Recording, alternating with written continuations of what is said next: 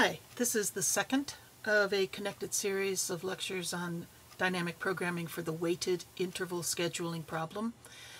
Uh, I have repeated some things here that we observed from the first lecture in this connected set. First of all, this is the set of intervals that I'm trying to maximize, find a subset which maximizes the value or the weight of the, of the chosen elements of that subset. Uh, uh, these, these intervals have already been sorted in non-decreasing order of the finishing time. So we can see the finishing time goes up. And I've already computed the p sub i of all those intervals. Here are my intervals across here. And so, for example, for interval 6, my p sub i I've already observed is 3. And the reason it's 3 is that this p sub 6 is the preceding interval to 6 that does not overlap 6 and um, is the rightmost one of that set. So preceding intervals to 6 right here are 5, 4, 3, 2, and 1. Right? We can see, in fact, right here, 5, 4, 3, 2, and 1. 5 and 4 overlap 6. You can see. So those are removed from the set of possibilities. And then of the three that are left, 3, 2, 1, 3 is the rightmost.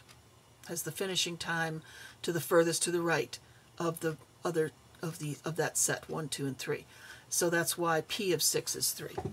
Okay, I've also copied the recursive solution to the problem of computing the optimal cost of the subset that maximizes the weight. And we can see in this solution I have a recursive calls right here. Here's one recursive call, here's the other recursive call. And I have also the base case right here so that if j is 0, that is, if I'm computing the optimal cost on an empty set of intervals, then my cost will return zero value, zero, the value is zero. Okay, so in this recursive call right here, I've got two possibilities of what I'll be returning. It will be the the, the either I will include the current interval under consideration, which is the jth interval, in which case I add the value for that jth interval plus the computed optimal cost of the precede set. So for j equals 6, I'll include co compute the value of 6 plus the cost of the set 3. Okay, so whatever the optimal cost I get for considering interval set 1, 2, and 3. That is the, the interval set con considering 1, 2, and 3, so there's put, put a 3 there. Compute that and compute the optimal cost for considering 6 minus 1 is 5. So the optimal cost for 5, 4, 3, 2, 1. Okay, and then take the max of those two, and that will be my optimal cost for the interval set 1 through 6. What I'd like to do then is just do a recursive trace through. I'm not going to bother uh, to compute the optimal cost, but I just want to show you how the uh, activation tree grows so that you get a good feeling for how this um, algorithm here implements the solution to the problem. So let's go ahead and compute the optimal cost for my set of intervals 1 through 8. So that means I'll be calling CO on 8, j equals 8, and I'm not going to bother drawing the box with the j equals 8 and all that stuff because it's um, I think it's straightforward enough that we can keep track of where we are in the activation tree. Okay, so when I call 8, my base case obviously fails, so I'll need to make a recursive call to p of 8,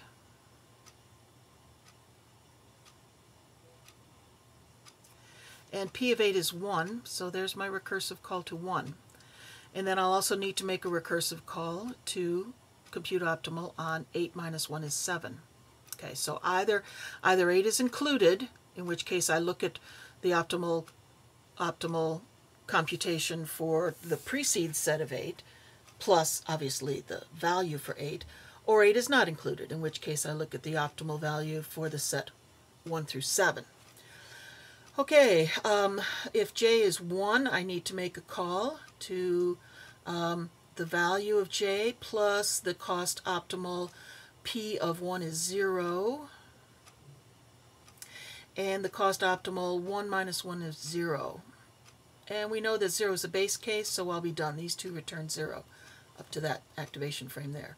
Okay, so for 7, I'll need to compute the cost compute optimal for P of 7, which is 1.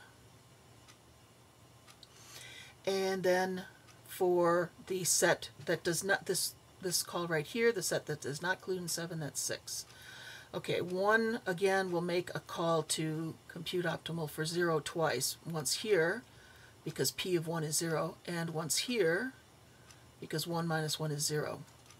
Okay, for six, I'll need to make the call to compute optimum p of six, p of six is three,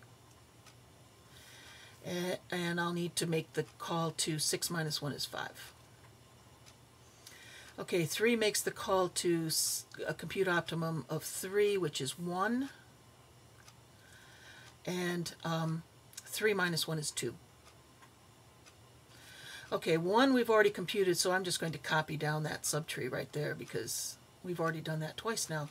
Um, and of course, the computer still has to do that. It can't just this this implementation. The algorithm has no memoizing, so I, I'm not keeping track of the optimal cost when I computed one.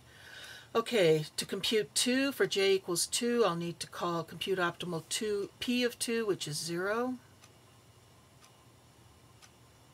And 2 minus 1 gives me 1. Okay, I already know how to do 1. Looks like so. Okay, five, let me just, uh, let me just move five over here, okay, so that I've got some room to work with for five. Okay, so five, the left child for five is going to be this p of five. p of five is four. And then um, five minus one is four.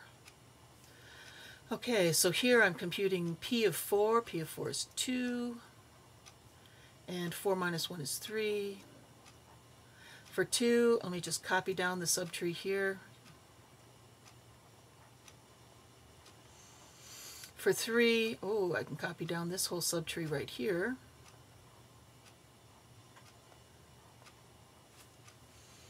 It's tedious, doesn't it?